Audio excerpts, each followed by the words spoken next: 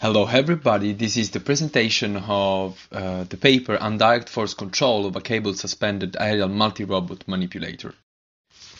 The work is a collaboration between LAAS CNRS Toulouse, the Autonomous uh, System Lab of ETH Zurich and Robotics and Mechatronics Lab at University of Twente. Unmanned aerial vehicles can be used for complex activities in which robots interact with their surroundings. Possible solutions have been found in combining the effort of several UAVs to cooperative transport and or manipulate objects. Cable suspended loads provide significant advantages for this task and the FlyCrane, a redundant system which is here proposed, is an example.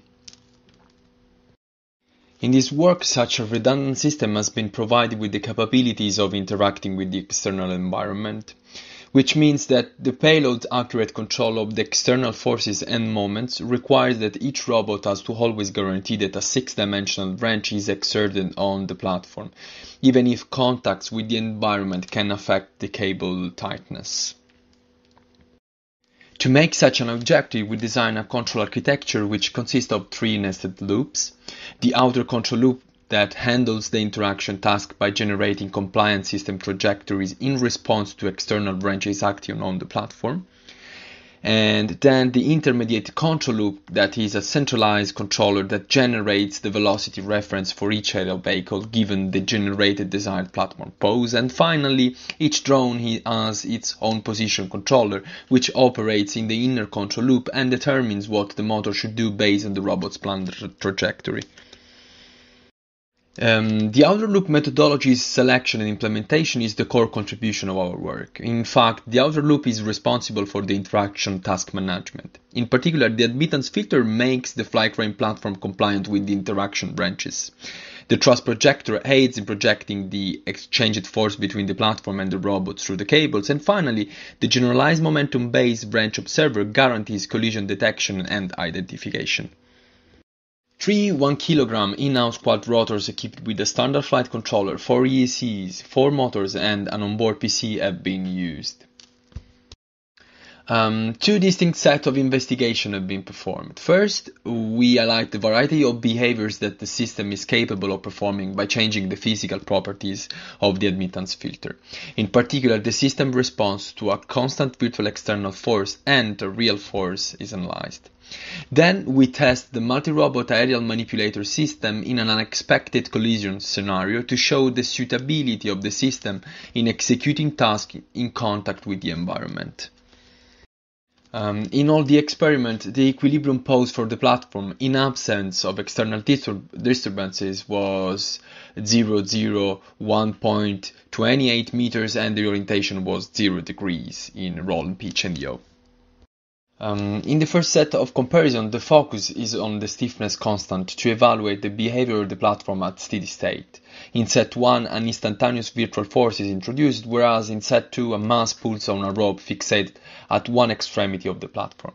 As it's possible to see in the videos, the admittance scheme suitably performs at steady state, where the position of the platform remains close to the nominal one, according to, to the corresponding stiffness value. And the displacement in the video is shown in red.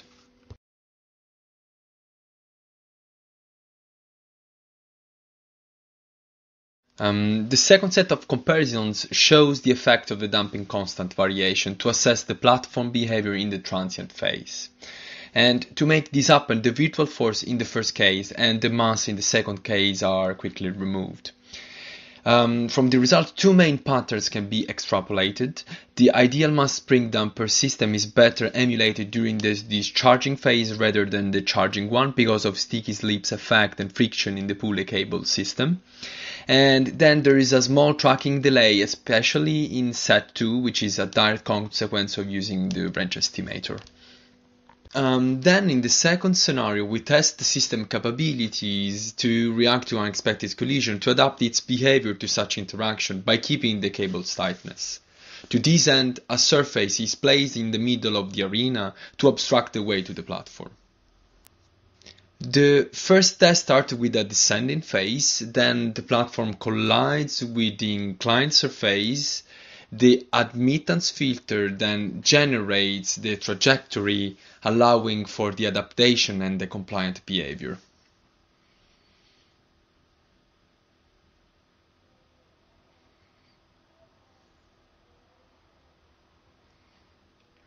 In the second in the second test, by contrary, the rotational compliance has been changed, and as a result, the platform shows a more compliant behavior on the video on the left due to a less stiff constant gain choice on the admittance filter parameters.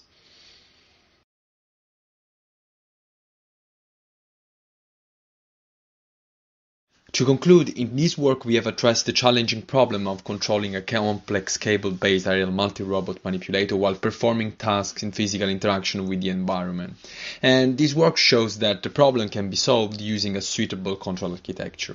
There are of course still challenges to face, for example the system has not been examined when collisions could demand agile moves. Besides, other scenarios could be considered in the future.